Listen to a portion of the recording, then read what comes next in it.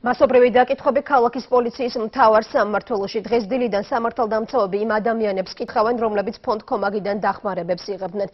დაახლოებით 30-მდე ადამიანს ანგარიშები დაუყადაღეს, მათ კი ვისაც ანგარიშზე თანხაც კი არ ჰქონდათ, პენსიები გაუყინეს. პოლიციაში დაბორებულებს შორის აღმოჩნდნენ ისეთებიც, რომლებსაც საქველმოქმედო ფონდიდან ჯერ თანხა საერთოდ არ ჰქონდათ მიღებული. ასეთ ვითარებაში რომ ხალხს აშინებენ და ფსიქოლოგიურ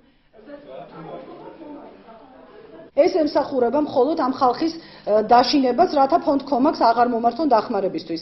მე მინდა ხელისუფლებას მოვუწოდო, რომ შეაჩერონ მათი ეს უგუნური და უზნეო ქმედებები და ამ ადამიანებს, რომლებიც ისედაც სასოწარკვეთილებაში მიიყვანეს თავად ხელისუფლებამ, ასევე მინდა მივმართო ყველა არასამთავრობო საერთაშორისო ორგანიზაციებს, რათა ხმა აიმაღლონ, დაიცვან თავიანთი მოქალაქეები